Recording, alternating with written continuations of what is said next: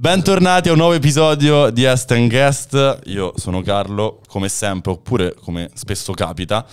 E l'ospite di oggi è un ospite che ci è tornato a trovare. Abbiamo anche rischiato di fare la doppia puntata lo stesso giorno rispetto all'altro anno. Ah, Abbiamo rischiato tantissimo. Wow. Perché è rivenuto il 14 o il 15 e dovevamo beccarci il 14 o il 15. Oggi è qui un grande amico che sta vivendo un grandissimo periodo. Sono felicissimo con noi, Alfa. ciao a tutti, buongiorno. Guarda che mi mancavano i tuoi applausi. quelli, eh. Dovremmo fare come cani, andare allo stadio e far registrare un vero applauso e poi ogni, ogni- ogni volta metterlo come jingle. Ma tu lo sai che Kanye suona la- il giorno prima di me al forum d'Assago e quello lì comunque sul parterre non, non- non- non ci sono le persone ma ci sarà la sabbia. La sabbia. E io ho una paura fottuta che tipo la, la sabbia non la tolgano, capito? Che arrivo e c'è il mio concetto, rispetto per Kanye, No, eh, no, però sai che totalmente. lui con i live non è che proprio proprio È un bel easy, no? matto, è un bel matto. E quindi io non vorrei capito che il mio pubblico ha la sabbia nelle scarpe. È un beach Kanye. party a febbraio. Capito? è, un, è un, è un beach party. Giova non lo fa tue più, lo fa no, no, Kanye esatto, lo fa Kanye e, e tu gli dai invece poi il lascito successivo. Quindi Bro, ciao, ciao Kanye, non sporcarmi il forum troppo. mi prego. raccomando, mi raccomando. Come stai, Andre? Ne parlavamo prima, è il periodo più Bene. bello della tua vita, forse. Sì, sicuramente il più denso. Ehm, io ho sempre fatto le cose molto, capito, passo dopo passo, quindi avere questo, questo boom no, dopo Sanremo è un pochino traumatico, perché comunque quando ti arriva tutto subito è, È da gestire. è da gestire emotivamente soprattutto, soprattutto la mia normalità, no? Il fatto che adesso cammino per strada e non è più il mio coetaneo che mi riconosce, ma è anche l'adulto, è Certo. anche l'anziano e questo magari ti toglie un po' di, di Ancora libertà. di più rispetto a quella che Esatto. già prima ne avevi, ne avevi comunque poca. Devo un attimo, capito, trovare un nuovo equilibrio, però sono molto felice, cioè ti- Sanremo è andato benissimo, il disco sta andando benissimo, faccio il forum, faccio i palazzetti, cioè di cosa mi devo lamentare? Assolutamente di niente. Semplicemente sto cercando un attimo di capire cosa- Ricalibrarti. Esatto, un nuovo equilibrio. Ricalibrarti. Senti, noi ci eravamo lasciati l'anno scorso a questo tavolo che stavi per fare un viaggio in America. Mhm. E io volevo un po' ripartire da lì, perché poi delle, delle last news ne parleremo in questa chiacchierata, insomma. Però volevo, anche per dare un po' di... e raccontare anche che nulla accade per caso, da, da quel momento lì, eh, da quel viaggio lì, cosa è successo fino a Bellissimissima, poi c'è stata l'estate, e arriviamo piano piano poi a... a Vai, il pezzo di Sanremo, il disco e tutto quanto. Quindi tu parti per l'America l'anno scorso. Io parto per l'America perché attraverso il mio, il mio management e attraverso un brano che si chiama You Make Me So Happy mi, mi apro praticamente delle porte per il mondo degli autori e produttori americani. Quindi vado lì a scrivere un po' di, di canzoni, a vedere che succede. Faccio lì 15 giorni, torno a casa con una ventina di canzoni, tra cui Vai, appunto, e tra cui il ritornello di Bellissimissima, perché in realtà Bellissimissima è nata un po' in Italia e un po' in America e alcune canzoni che sono nel disco, altre che lo saranno dopo. Quindi sono andato praticamente lì a conoscere i, i produttori e gli autori che hanno scritto le canzoni che hanno segnato un po' la mia, ma penso anche la tua, no? la generazione di MTV. Quindi i video musicali di Ed Sheeran, Lumineers, One Republic, Vance Joy, tutto quel mondo lì che a me fa impazzire. Capito? Arrivi e vedi il disco di Diamante di Harry Styles in studio. E dici, che effetto "Aspetta, ti fa? Bro, cioè, una roba, mi ricordo la prima, la prima volta in cui sono andato, proprio la prima volta, prima sessione, sono andato da questo produttore che ha prodotto il disco di Mac Miller, quello, mh, quello con l'aeroporto, Ok. quello di scalzo, adesso non mi viene il nome Non del titolo. E, e quello è stato strano, cioè tu entri in uno studio e vedi, sei abituato a vedere, non lo so, il disco d'oro di, di Elodie, non sei abituato Sì, a vedere sì. quello di Mac Miller, capito? E questa è stata un'esperienza incredibile anche perché lì il modo di fare musica è molto molto diverso, è molto più umano. Ah, È tipo, tu sai una- che non l'avrei detto? Ma invece, eh, an- anch'io all'inizio, perché poi ti immagini Los Angeles, capitale della discografia, no? Ti immagini, oh, tieni sta canzone, cantala. Della- una manovia incredibile di canzoni, cioè di, di produzione musicale, invece no. A volte è successo, chiaramente, però ho avuto la fortuna di conoscere grandissimi autori che magari hanno scritto per Lana Del Rey, l'Imagine Dragons, i Coldplay, che invece dicono, senti, abbiamo quattro ore per scrivere una canzone, ma le prime due ore che ne dici se ci conosciamo, ci andiamo a prendere un caffè, caffè, poi vabbè il caffè fa Certo, schifo, lì- però il- il- un succo, e mi racconti chi sei, perché sei qua, vieni dall'Italia, che cosa, anch'io ho un parente dall'Italia, e poi magari parlavamo d'amore, parlavamo, non lo so, de- Di vita, de- della vita, delle nostre giornate, trovavamo qualcosa in comune e scrivevamo una canzone su quella cosa lì. Incredibile. È molto umano lì il rapporto, ma perché secondo me c'è talmente tanta competizione, talmente tanta velocità che ti devi creare dei momenti. no? Io ho avuto la fortuna di conoscere comunque autori e produttori con cui io mi sento ancora e che- con cui col- collaborerò, nel senso che poi lì ovviamente la discografica ti dà un'occasione di fare una sessione con questi, poi sta a te Certo, sfruttarla, come sfruttarla. Colpire no, questi produttori. E, per esempio i produttori di, di Vai che hanno fatto dei brani incredibili. ehm, io mi, mi sento, mi sento ancora con Mark e Jan, sono due ragazzi americani, hanno detto "Oh, comunque noi siamo a Milano nei, nei prossimi mesi, ma senti ma vecchiamoci, facciamo musica, quindi c'è comunque un clima di presa bene da quel viaggio che mi fa dire wow, cioè si può collaborare con quel mondo, non lo fa quasi nessuno, ma può, può succedere. Una via c'è effettivamente, soprattutto quando è agevolato, come mi hai raccontato fino adesso, da un processo totalmente umano, perché cioè, se io dovessi essere un autore o un cantante, mi immagino andare in- a Los Angeles, in California, avere 15 giorni per scrivere un disco, 5 canzoni, 6 canzoni, probabilmente mi bloccherei totalmente se non fosse Sì, serve così molta, tanto molta empatico empatia. poi il... eh. Ma poi anche, anche l'inglese, no? Nel senso che il mio livello di inglese è accademico, cioè non è che io parlo un inglese scioltissimo, eh, e poi loro hanno un accento americano che, molto marcato. Che comunque a livello di comunicazione, per esempio, vai il UU e il, fischio, nasce perché a un certo punto con i produttori non riuscivamo più, non dico a capirci, no? E quindi avevamo spostato la conversazione da lessicale a melodica. A melodica, cioè solo E- top line melodica. Solo top line, quindi parlavamo tipo con le na na na na na na, uh, e lui. E quindi da lì abbiamo detto teniamo sia l'UU che, il, che- che il fischio. È incredibile. Ma nasce dal fatto che in realtà, tipo una torre di Babele, praticamente, dove no- ognuno si parla, nessuno si capisce, però in qualche modo la canzone è venuta fuori, capito? Quindi torni con bellissimissima e vai, butti fuori bellissimissima Boom. e hit, hit totale dell'estate e ti fai un'estate in giro come di, piena di live Sì, abbiamo fatto una con Sanremo già in testa? No, no, no, no. Ti dico la verità. Io mh, dopo l'anno scorso, tu sai comunque te ne, te ne avevo Abbiamo parlato. ampiamente, no? Di Sanremo Giovani, io Sanremo non lo volevo neanche fare. Semplicemente, cioè non è che non volevo fare, non ne volevo parlare. Era quella roba che dicevo, vabbè. Se succede su- bene. Sì, cioè Bellissimo. avvisatemi se succede, se non succede fa lo stesso. Ci ho già sofferto troppo l'anno scorso, perché io davvero l'anno scorso ci sono rimasto male tanto. E quindi insomma non ho, non ho mai avuto Sanremo in testa per l'estate, ma perché bellissimissima stava andando talmente forte che non, non so non ci dire. pensavi nemmeno quasi. Sì, non, è- non era importante. cioè, ma, ma quando dico forte non intendo a livello di numeri, intendo proprio a livello di, di vita. Quando mi sono capitate due o tre situazioni che mi hanno fatto dire ok, tipo una signora che me l'ha cantata davanti senza riconoscermi.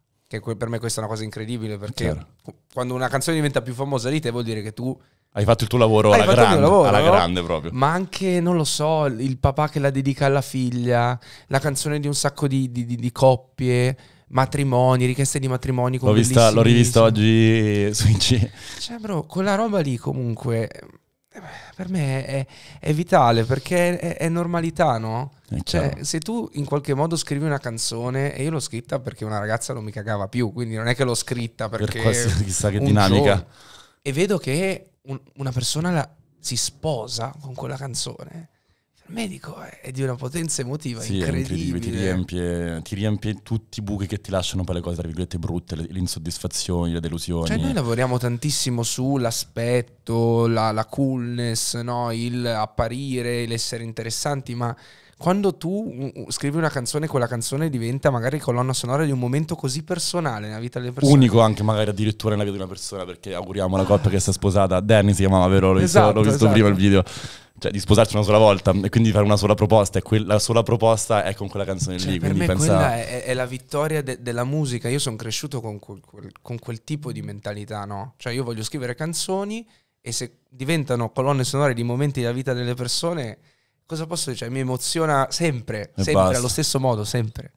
Bellissimo bellissimo e quindi dopo quest'estate di live dopo bellissimissima che ti ridà un po' anche di, di- di pienezza interiore che è fondamentale e c'hai questo, questa va in mano Tornò dall'America, doveva semplicemente andare nel disco, perché tanto immagino che tornò dall'America c'era già l'idea di... Doveva essere so un chi è. singolo, sì, Ah, sì, sì, ok. sì. No, era il viaggio dall'America, eh, sì, esatto, l'idea del disco c'è da, da un po' di tempo, c'era già quando mi hai fatto l'intervista, il titolo, non so chi ha creato il mondo, ma so che, ne innamorato. Curto tra l'altro. Ti piace? Curto totale. ma, Eh, ma totale, bro. È un titolo un po' lungo, però... E adoro, le- adoro i titoli lunghi, adoro le caption lunghe e un titolo così pi- pieno di te anche fondamentalmente, Grazie, che solo te guarda. secondo me potevi tirar fuori un titolo del genere. E, e, cioè se l'avessi fatto qualcun altro sarebbe stato tipo... mm, Invece il fatto che l'abbia scelto te, secondo me è proprio sulla tua, sulla tua sagom è, è, è incredibile. Quindi c'era già l'idea comunque di fare questa roba qui. Volevo fare un disco che parlava dell'amore degli altri, cioè un disco che non parla del mio amore autobiografico, c'è veramente poco di me nel disco, ma perché, bro, cioè io ho 23 anni, ho iniziato a scrivere canzoni e a fare successo quando ne avevo 18. 18. E, e io non voglio diventare, ecco, la cosa che mi spaventa più di tutto è diventare il cantante che ha la formula, no? che fa la, la stessa canzone più volte e, e in qualche modo blocca il percorso di crescita che la musica ti può dare, no? Perché, non lo so, ottieni successo se fai un determinato tipo di canzone e allora fai quella canzone un sacco di volte. A me questa cosa, mi, il, pensiero di annoiarmi con la cosa più bella che ho, che è la musica, mi spaventa. È un incubo. È un incubo e quindi ho detto voglio fare canzoni guardando la vita, quindi film, libri per strada, origliavo le conversazioni in metro per farti capire il livello dell'extreme, no? Cioè cuffie, volume a zero, origli la telefonata, il litigio, ti immagini cosa si stanno dicendo, non so neanche se sia troppo legale. Che grado comunque... di empatia c'hai con quelle situazioni? Perché il mio è altissimo, quando eh, io vedo molto. tipo coppie che litigano, e coppie al telefono che litigano, poi cioè, io ho anche la ragazza che non, non, non vive a Milano, quindi percepisco eh, anche la roba, il, il, eh, capito la roba, proprio sto tipo è quella cosa. Ma guarda che comunque secondo me tutti dovremmo vivere di più guardando fuori. Perché eh, c'è troppo egocentrismo, c'è troppa egomania nella, nella, nostra vita, abbiamo tutti troppo bisogno di sicurezza e pensiamo solo a noi. Di centrismo. Al nostro, al nostro dolore, no? Come se gli altri non, non lo provassero, no?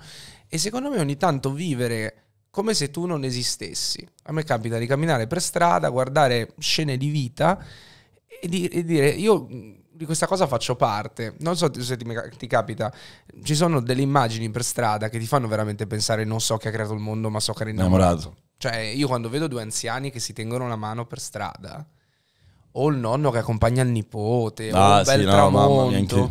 Mamma mia. O, o, nell'aeroporto il, il marito che coi fiori tutte quelle immagini che ti... Non, so, non, è che lo stai provando tu l'amore, però ne, ne capisci la forza, no? E, Totalmente. E ti cambia la giornata quell'immagine. Totalmente. Dici, wow, che bello, un giorno ce l'avrò anch'io, o magari ce l'ho anch'io adesso. E, e quel, quel, tipo di sensazione secondo me è... È incredibile, esatto. Ti cambia ti la giornata. Ti cambia la giornata e ti fa secondo me anche ricredere un botto a tanta negatività che mettiamo nelle, come dicevi eh. prima, nelle nostre cose, no? Cioè i gesti inconsulti, tra virgolette, però quelli positivi, non quelli da Siamo da tutti matti. troppo presi dal nostro dolore, dalle nostre battaglie, tutti abbiamo le nostre battaglie, però secondo me vivere guardando anche un po' gli altri. Eh, no? E osservare l'altruismo puro al 100%, l'umanità al 100%, l'amore al 100%. Ti giornata, ti fare un bel gesto, cam- essere la versione migliore di te, no? Mm-mm. Io cerco ogni giorno di esserlo, poi chiaramente ci sono dei giorni in cui non ce la faccio, dei giorni in cui ce la fai. L'uomo pecca di natura, però bravissimo, anche solo fare una roba in più o di diver- diversa dal, dal Mandare quel te... messaggio in più esatto. all'amico che non senti, sai quante volte? Genitori, quanti... chiamare... Infatti dopo questa intervista chiamo mia madre al 100%. Te lo consiglio. non la sento mai solo quando la chiamo solo quando mi serve qualcosa. Che sono poche le volte, eh, però poi giustamente lei mi dice: Cazzo, mi chiami sempre quando mi serve qualcosa, chiami per ah, sapere beh, come stai. Sta, secondo me sta. la nostra età ci sta. Eh, certo poi ci sta. sul lungo ci mancherà o troveremo un modo per. Io con i miei sto cercando di. Perché penso che per loro sia decisamente traumatico il tutto. No? Tutto questo che sta succedendo. Sì, perché poi comunque dai, è emotivamente troppo forte. Lo è per me, figuriamoci per un genitore che ha l'istinto no, di proteggerti. Totalmente, esatto, di fare metterti davanti proprio a tutti i proietti. Cioè, tuo possono... figlio a Sanremo, tutto ciò che vuol dire, no? Tuo figlio a Sanremo, quindi io cerco un attimo di, di capire che cosa vuol dire per loro. Perché poi sì, mi vedono felice, però giustamente sono preoccupati. È inevitabile, dai. La cosa più bella che ti hanno detto quando è arrivata la notizia? Allora, secondo me la cosa più bella eh, non Oltre tanto... al complimento, chiaramente. Che no, quello... no, credo che sia stato Vecchioni, perché io esisto, cioè sono nato perché i miei si sono innamorati grazie a una canzone di Vecchioni, che è Lucia San Siro. Quindi comunque... Cioè, cioè com- comunque già siamo Sono qua, in questo pianeta Terra, anche grazie, grazie a, a Roberto Vecchioni. che è il cantante preferito anche di, di mio papà. Infatti io ho proprio il poster in casa, in casa, in casa a Genova, poi l'ho portato a Milano, di, di Vecchioni, no? Quindi in qualche modo eh, questa cosa che è successa a Sanremo del duetto di Sogna ragazzo sogna è stata una cosa che nella, nella vita ci sono stati dei segnali che sarebbe accaduto, no? Ed è assurdo la traiettoria un po' della vita, della musica, no? dove ti porta. E quindi quando li ho chiamati dopo l'esibizione, che è stata un'esibizione diciamo molto intensa, soprattutto per me, è stato bello vederli piangere che, che, è qualcosa che non facciamo mai, nel senso che comunque, c'è, c'è, non so, io ho un rapporto con i miei mo- molto d'orgoglio, no? Quindi comunque anche i momenti di debolezza sono protetti, no? Cioè è difficile spostare la conversazione a livello proprio emotivo, certo. proprio 100%.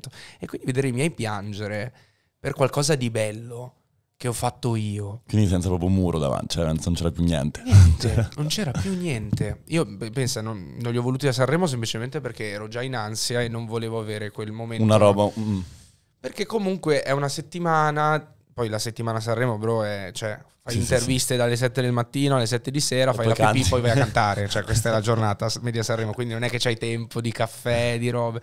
Però è come se per la prima volta in quella telefonata si fosse abbattuta una barriera che hanno molti figli con i propri genitori, certo. no? Cioè non riescono a parlare emotivamente al 100%. E quella cosa lì mi ha, mi ha proprio... Perché mi ricordo che mio papà mi ha detto io cosa ti devo dire? Sei mio figlio, hai appena cantato col mio idolo, hai fatto qualcosa di incredibile. E, ehm, e da lì poi ho rivisto l'esibizione e ho detto wow, che cosa cazzo è appena successo? Mi racconti, infatti, ah, io vedendo l'esibizione, poi me la sono anche rivista i giorni quando è uscita su YouTube, perché oggettivamente è stata nella no, mia anche nostra, abbiamo seguito Sanremo qui nella nostra top 3 al Grazie. di là del valore affettivo eh, sì, che, sì. Cioè, che, proviamo tutti per te ma oggettivamente è proprio un momento in cui cioè, tra chiacchiere, birre, robe comunque attenzione al festival c'è stato un momento in cui pam, tutti guardavano quella roba lì perché è stata effettivamente da pelle d'oca e io ti ho visto libero cioè eh, cosa hai provato prima, dopo, durante de, le chiacchiere che hai fatto con Vecchioni, cosa hai assorbito, te lo chiedo adesso e mi rispondi. Però io ti ho visto libero. Proprio anche nel gesto di togliere... Cioè, eh ho sì, visto sono tolto gli Nier, ho detto, cioè, un ragazzo che a Sanremo si toglie gli Nier, che ha al fianco il suo idolo pronto per cantare la cover, che è anche un po' la, una delle serie più cult no, del festival, vuol dire che in quel momento è al 100% libero da t- qualsiasi cosa, se non per quella cosa lì, che è l'esibizione. Sai, io sono sempre stato molto metodico, no? Ho sempre trattato la musica con un grandissimo rispetto, perché eh, per me la musica è, è qualcosa di gigantesco e, e, sono onorato il fatto che sia il mio lavoro, no? quindi l'ho sempre tenuto molto come un lavoro, no? va tenuto con rispetto. Però ogni tanto la musica ti regala questi momenti incredibilmente vitali, questa, questa occasione no? di viverti una cosa al 100%. E io ho fatto così con la cover, se ci pensi, eh, cioè ci, ci, pensavo qualche giorno fa, togliersi Liniar a Sanremo è una follia. Sei pazzo. È una follia. Non, non ti, io non ho sentito una nota. Io non mi sono sentito, cioè io non ho cantato seguendo la, la linea click, melodica, eh. il click. Cioè ho proprio, ho proprio tolto tutto perché volevo vivermi il momento, volevo sentire la voce del professore qua e non attraverso Linear che è una follia, cioè qualcosa che io non, non rifarei ma, cioè, mai. Cioè, dal punto di vista razionale è una follia. Però tu quando ti, ti, ti arriva quella cosa lì e dici, io non so come andrà la mia carriera, io non, non, non, ho idea, no? Però questo deve essere un momento che devo vivere. Però questo è un momento che sarà tatuato dentro di me per sempre, a prescindere da come andrà la mia carriera, da come andrà la musica e tutto quanto. Non voglio avere alcun tipo di sovrastrutture. Io ero molto teso, chiaramente, prima di cantare, perché cazzo sto per cantare con Roberto Vecchioni, che è uno dei dieci cantautori della musica italiana. Della storia, no? sì, esatto. Pilastri, cioè, c'è lui, c'è Dalla, c'è De Guccini, Gregori, De Gregori. Sì, sì. Non è che sono tanti, capito? No, assolutamente.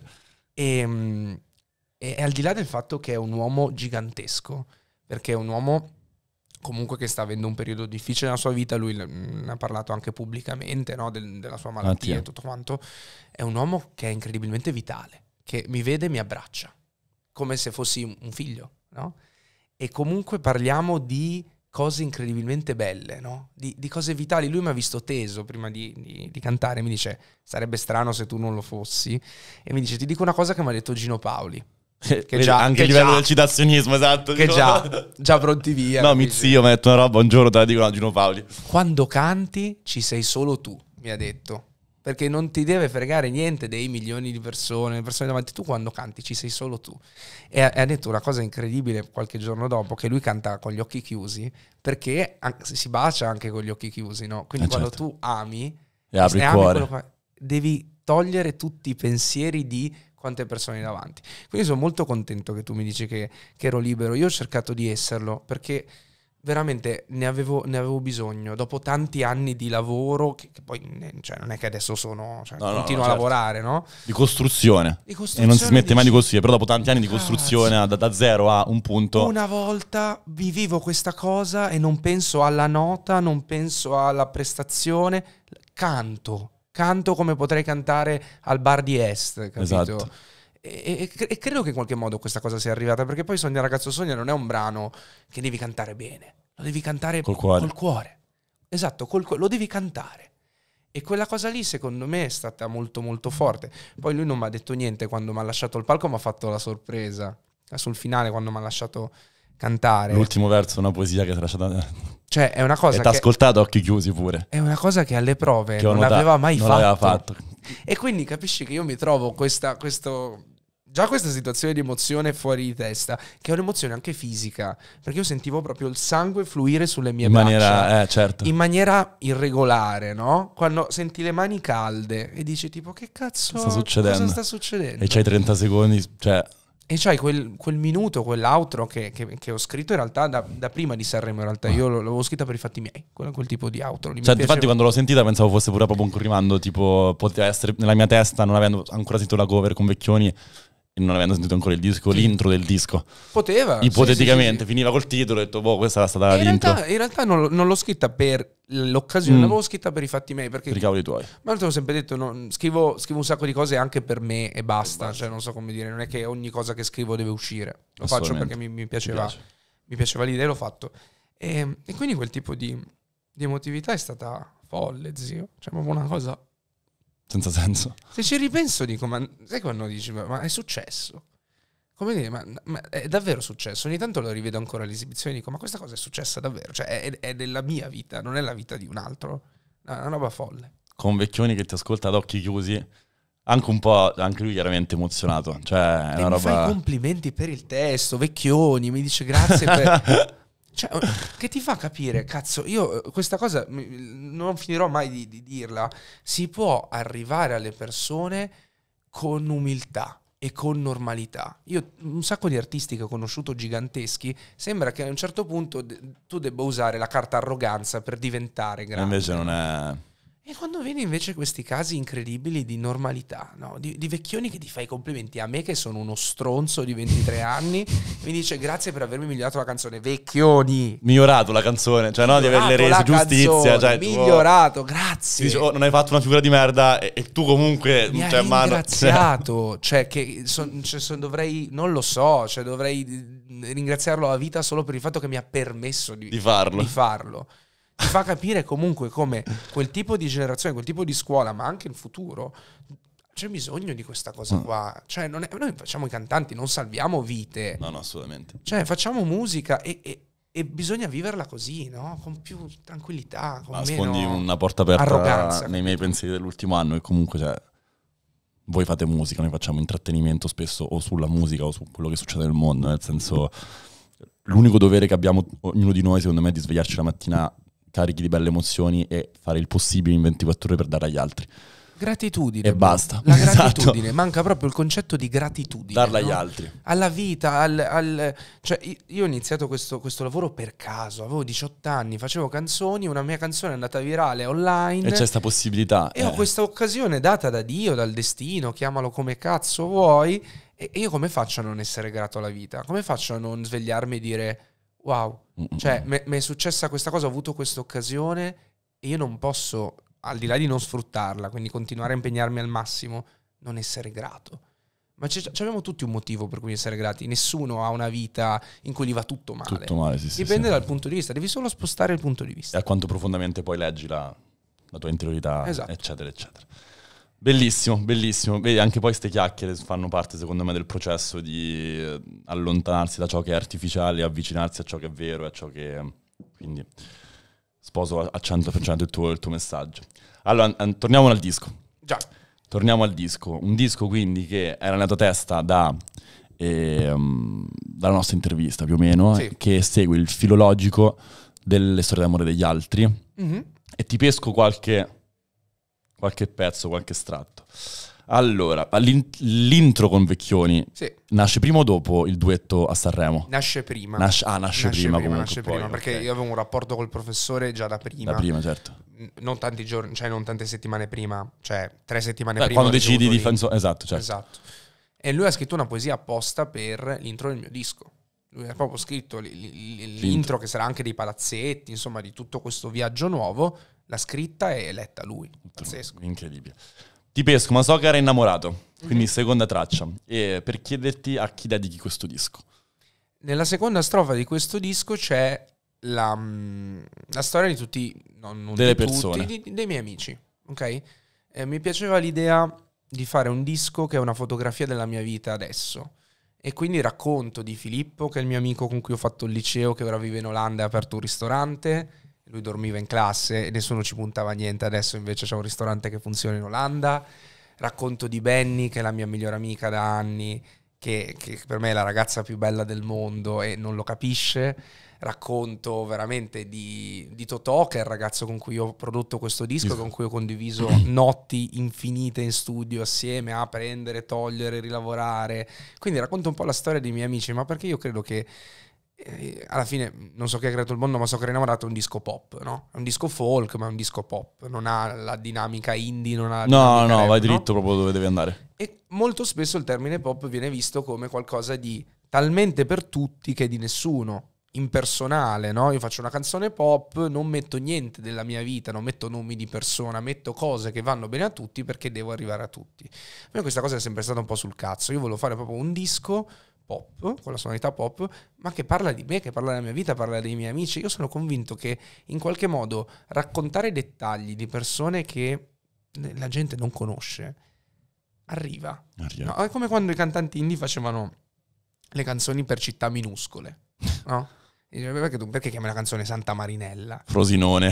Perché chiami una canzone Frosinone? Ma perché è una hit gigantesca? Perché è bello È parlare di cose piccole. Visive anche, cioè nel senso che le vedi. Tu- se tu dai proprio un'immagine, cose, se, se io racconto dei miei amici, inta- intanto lo faccio per me, ma credo che abbia anche proprio una funzione nel- nel- nell'ascolto delle persone, perché è la cornice, no? Io questo disco l'ho scritto grazie a loro, grazie a tutte le, le serate in cui abbiamo parlato, io mi sono aperto con loro, loro si sono aperti con me in uno scambio vitale no? di energie. E quindi volevo, volevo dedicargli una traccia del disco proprio ai miei amici. Dettagli dell'umanità, che sono quelle cose che poi effettivamente, proprio perché dettagli, le scopri un po' per caso e ti rimangono effettivamente dentro. Frida, l'interludio, Mhm.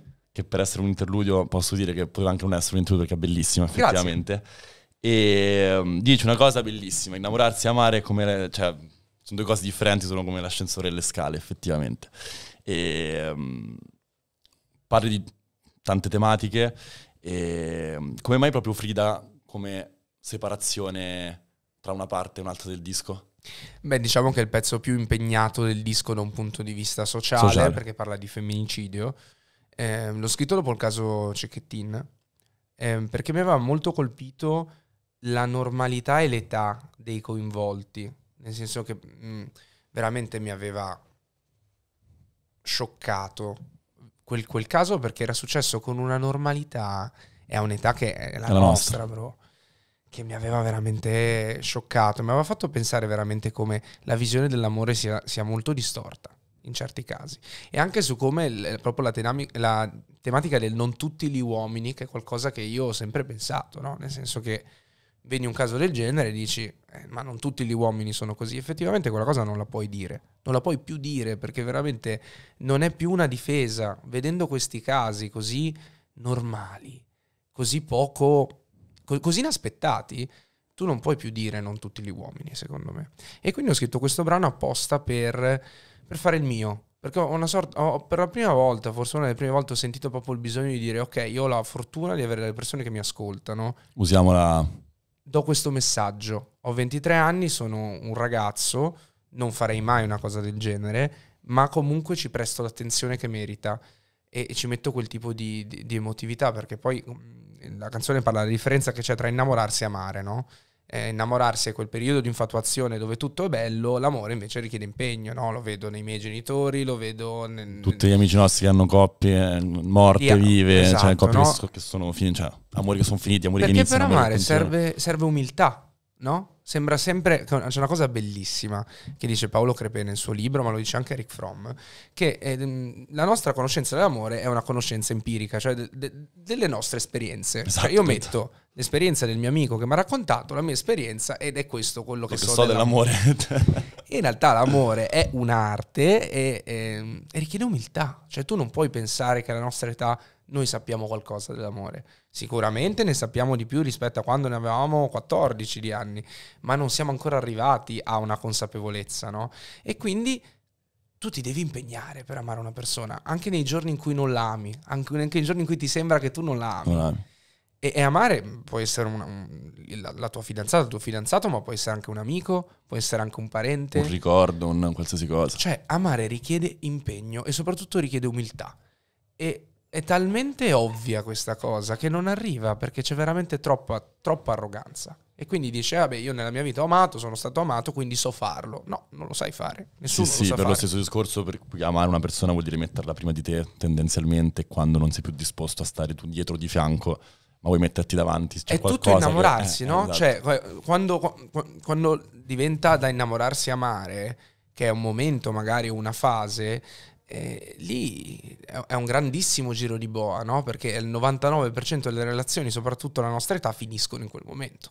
Perché mh, a 23 anni ci sta che uno non, non dica... non, è- non vuoi prenderti lo sbatti di dire... non boh, voglio sposarmi, non voglio avere, cioè, oppure non voglio comunque avere una relazione che non mi muove più l'emotività di prima.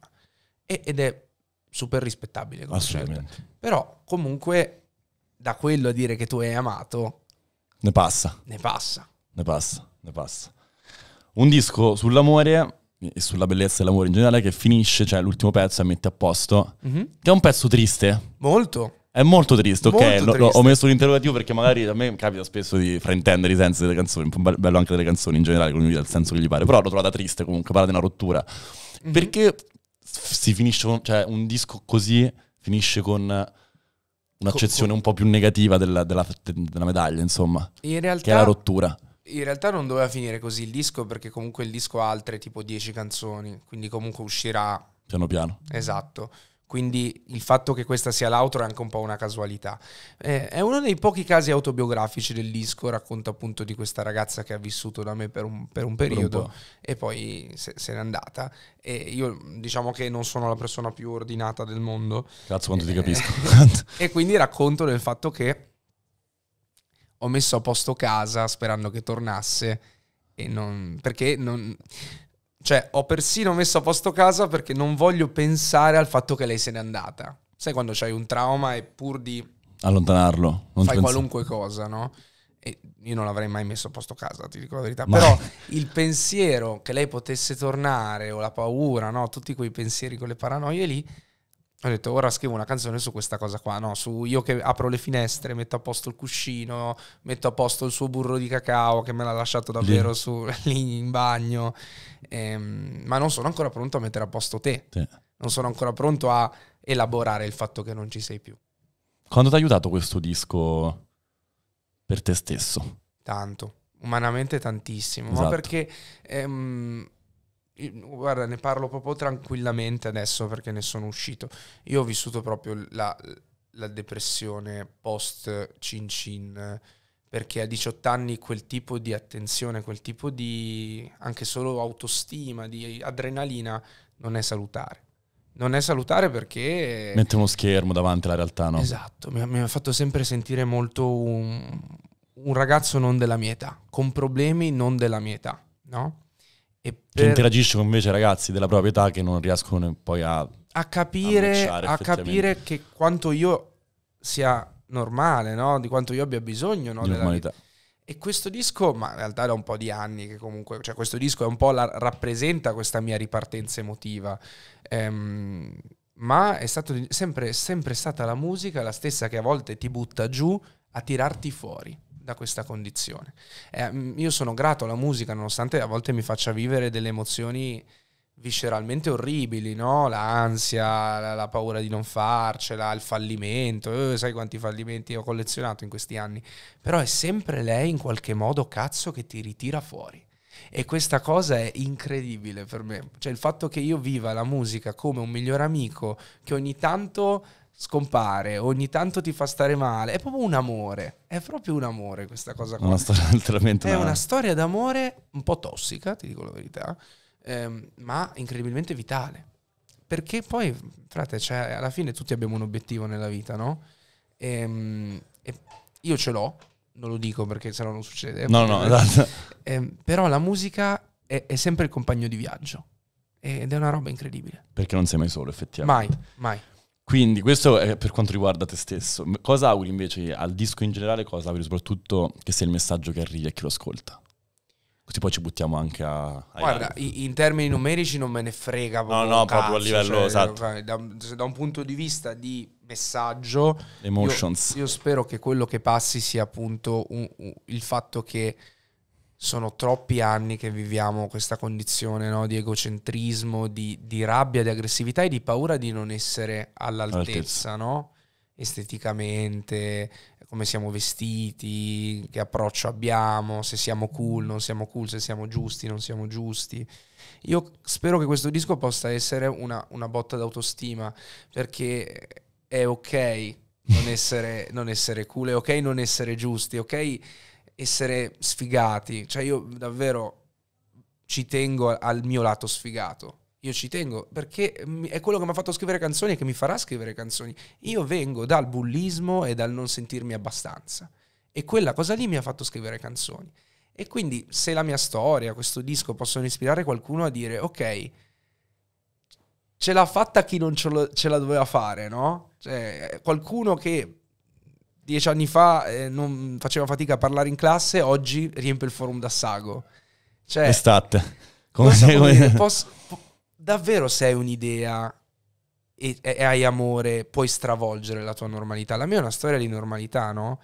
E, però se c'hai un'idea e se c'hai dell'amore, in qualche modo tu quella normalità la riesci a stravolgere. Questo spero passi da questo Sì, anche perché poi la, secondo me è solo una questione di, di contesto. Io vengo pure da anni, da, da piccolino, elementari, le medie, per, per tantissime gestioni diverse ho sempre percepito il, la dinamica del, della diversità, no? Mm?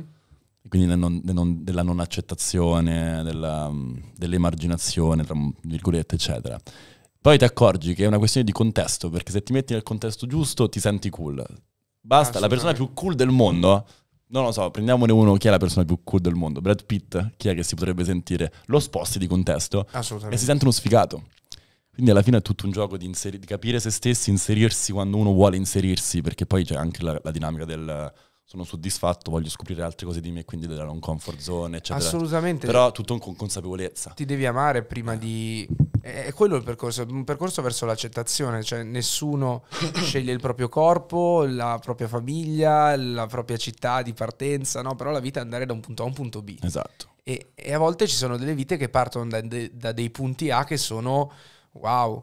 Cioè io se penso da dove sono partito dico minchia, cioè mai mi sarei, ma davvero dico minchia, perché non mi sarei mai aspettato questo, cioè fare Sanremo. Io, bro, ripeto, cioè non parlavo in classe, ero zitto in classe e vado a Sanremo, cioè questa cosa per me, quando ci ripenso, altro che terapia, cioè devo dire tipo, ma cosa, cosa è successo, no? Ma perché la vita è questo, cioè vai da un punto A a un punto B, sorprendi chi non ci aveva mai creduto in te hai vinto in qualche modo, no? Poi c'è ancora tantissimo da fare. Tantissimo, eh, però vedi è bello poi secondo me anche condividere, noi abbiamo 23-24 anni, è bello anche far sentire queste cose a chi ci vorrebbe pensare ma non c'è, ci pensa ma non ce la fa, capito? Cioè, ma pensa a Est, zio. Dare, cioè... dai, dare esempi di vita normale che comunque se ti prendono in giro, se ti rompono le palle, se ti fanno sentire una merda, poi comunque conti tu e solo tu da quando ti svegli a quando vai a dormire e conta il bene che fai e conta comunque tutta la bella effort che ci metti nelle cose. Effort veramente è un termine che mi sono portato dall'università di no, economia. Però, però, però è, quello, è, vero, no? cioè, a me emozionano storie come Est, eh, certo. come la tua, bro. Cioè, siete tutti ragazzi fuori sede che a Milano non trovavano la loro dimensione. Esatto. Perché poi Milano non è dei milanesi, diciamoci la verità. È, è, ci sono più non milanesi che milanesi, milanesi tendenzialmente. Vi siete creati la vostra realtà, il vostro brand, la vostra radio, il vostro bar il vostro gruppo, la vostra community. E lì ti incastri. E, fate, e avete fatto, e farete delle figate, perché comunque le vostre interviste sono incredibilmente umane, ci vengono un sacco di artisti, eh, anche giganteschi, no? Da voi, no?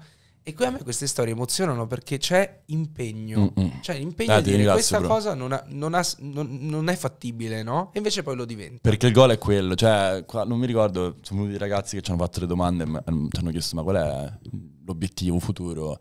Eh, dar la possibilità al me di sei anni fa di entrare in un posto e sentirsi ok. Beh, è una bellissima, una bellissima cosa da dire. Eh, il mio goal per tutto quanto, cioè, quello che facciamo è, è quello, insomma, dar- come te, per te con le canzoni, cioè dire qualcosa a qualcuno e farlo sentire ok. Cioè, sta parlando, proprio, il proprio mezzo eh, per accettarsi. Il filo comune è questo, insomma. Ma bro, ma io sono convinto, cioè non è ancora forse il momento, ma nei prossimi anni vivremo una riscoperta dell'umanità, perché se no ci, ci estinguiamo. Cioè con tutta questa rabbia, tutta questa aggressività, anche il termine cringe, no? Quanto, quanto è aggressivo. Cringe, anche dopo letteralmente. Quanto è aggressivo grave. il termine cringe. Quanto dire sei cringe è aggressivissimo, no? Chi Oltre che se svilente, frega? ma vabbè, esatto, chi, chi se ne frega? no? E, e secondo me dopo tutta questa rabbia, aggressività, attacco, Twitter che uno fa così, ah, ha fatto così, allora è una merda, tutti questi insulti, a un certo punto o ci estinguiamo o riscopriremo un attimo l'emotività altrui, no? Perché nessuno pensa alle emozioni degli altri. E invece secondo me tra un po' di anni, io mi auguro il prima possibile, ritroveremo un po' quel tipo di normalità, no? Dire, Assolutamente. Se ne frega, cioè che quanti anni hai? 23, anch'io. Bellissimo, Dai, frate, abbracciamoci. esatto, Esatto. come stai? Allora, buttiamoci invece a quello che sta per succedere, ovvero il forum e i palazzetti. Mhm. Mi hai raccontato prima come, come sei stato al fatto di vedere un palazzetto pieno per te. Ehm, cosa, si, si cosa ci si deve aspettare da, da questo round di, di live che hai preparato? Che idea... Che Sarò idee, arrogante anzi, per hai? la prima volta nella mia Facciamolo, vita. facciamo. Dirò il- un palco che non si è mai visto in Italia. Ok. Nella storia dei concerti in Italia un palco così non si è mai Non si è mai visto. E, mm, non posso dirti che come mai, però, però No, è- è- c'è un prima e un dopo quella roba. E, mm, e musicalmente un viaggio nella, nella musica americana, folk, quel tipo di sonorità. Ovviamente io su queste cose ci tengo tantissimo, abbiamo riarrangiato tutti i Tutto brani. quanto. Sì, ma perché poi abbiamo una band fantastica, abbiamo tre membri in più, abbiamo i fiati, adesso abbiamo le trombe, che è qualcosa che io ho sempre sognato di avere, Pazzesco. perché il mio tipo di sonorità ne ha bisogno. Mo- esatto. E, e quindi quello che io vorrei che accadesse, e che comunque stiamo lavorando perché accada, è che le persone tornino a casa senza voce, perché quello Prima dire cosa. prima cosa, e con quel tipo di vitalità che davvero vuoi abbracciare il primo che passa, no? Anche il fatto che eh, il pubblico venga con qualcosa di giallo addosso, sembra una cagata, no? Ma in realtà invece è incredibilmente vitale perché tu ti riconosci, cioè tu stai in quel momento, vedi uno Hai i tuoi con- simili intorno. vedi uno con la sciarpa gialla e dici sta andando nel mio stesso posto. Si crea quel, quel- quel concetto di aggregazione. no? Esatto. Dopo anni di assembramento si crea il concetto di aggregazione, cioè stiamo andando, noi non ci conosciamo, ma siamo vicini di età e stiamo andando nello stesso posto a fare la stessa cosa. E magari ci piacciamo anche, nel E in senso... questo modo si crea un, un collegamento, no? E vicinanza. Bro, i concerti sono quello. I concerti sono letteralmente aggregazione. Uno, perché uno va a un concerto se no? Perché, perché eh, dovrei andare a un concerto quando posso ascoltarmi la traccia su Per Spotify? stare insieme a gente. Perché io ho voglia di emozionarmi. E 10.000 persone che cantano la stessa canzone, magari per motivi diversi, però Con background diverso, storie in testa diverse. ti però emoziona. quello. Il concerto è quella roba che o la vivi o non la, non la puoi, non la puoi sostituire. Non, non ci sarà mai una tecnologia che sostituirà i concerti. Cioè, cioè, almeno mi, auguro, mi auguro, poi Esatto. non- non mi viene in mente, diciamo. Ci hanno provato con Fortnite, ma Eh, ci è- hanno è, provato. andata male comunque, grazie non, a Dio è non andata male. emotivo, Non è emotivo allo stesso modo. No, no, cazzo. assolutamente. Ma quando ti sei preparato poi? Per, cioè, cioè, l'Ariston è stato due settimane fa. Eh sì, ma no, le, pro- due se- le prove le ho fatte Prima. No, no, no, no, le ho fatte dopo Sanremo, nel senso che ho avuto la febbre a 40, 4 giorni. E poi eh, ho detto, sai che c'è, io devo, devo comunque Eh. prepararmi. E quindi ho fatto 10 giorni di prove, prove a stecca. a stecca. Sì, sì, oggi è il primo giorno libero, ieri abbiamo finito le prove. E Sei soddisfatto? molto, molto. È come lo volevi tu? Non lo so. Non lo, eh, certo. Ti dico, la, ti dico la verità, non lo so semplicemente perché non l'ho ancora visto. Domani vedrò per la prima volta Ah, il tutto. palco. cioè, l'ho già visto, però l'ho visto, capito, nei render, non è che No, no, no, visto però domani c'hai dal il... Domani c'ho il palco. Che frate, cioè, io ti giuro, vorrei dirti di più, ma il palco, quel palco, è una roba incredibile. Cioè, sarà una roba gigantesca. Che bello, bro. Eh, I puntini che si mettono insieme è una roba veramente pazzesca. Senti, voglio sapere dove te ne vai in vacanza, per quanto tempo e quali dopo il tour sono i tuoi i sogni di Soma. Facciamo anche un riassunto di sogni, ma proprio passi che vuoi fare. Beh, credo che a marzo, tra, tra appunto il forum e i nuovi palazzetti, I palazzetti. credo che mi farò dieci giorni via, non in Italia, mh, da qualche parte. Vo- Volevo andare a trovare il mio amico in Olanda, eh, quello della, della seconda Della scuola. Filippo, ehm, oppure proprio andare in, in una spiaggia senza niente, semplicemente perché ho bisogno un attimo di, di vivermi lo- il niente. Capito? L'io e il niente con- il silenzio. il famoso silenzio, che è una delle canzoni più belle del mondo, il silenzio, se ci pensi. E quindi mi piacerebbe andare lì con la mia migliore amica ehm, a farmi dieci giorni da qualche parte. Ehm, prima poi di iniziare tutto il giro di palazzetti, il pezzo estivo, la promozione estiva, figurati, saranno mesi strong. Hard as fuck. Ehm, e poi a livello di, di- di- di obiettivi, chiaramente dopo, dopo un disco c'è tutto un altro percorso, no? Ci sono le altre canzoni che comunque le ho già fatte, devono uscire, c'è il brano estivo, ci sono, c'è il tour eh, poi dopo quello dei palazzetti, che è il tour estivo, quindi insomma ce, ce ne sono di cose da fare. Quello che mi auguro è di godermelo. Io sai che Alfa ho come nome d'arte Alfa perché mi sento sempre all'inizio, non mi godo le cose, penso sempre che si può fare di più.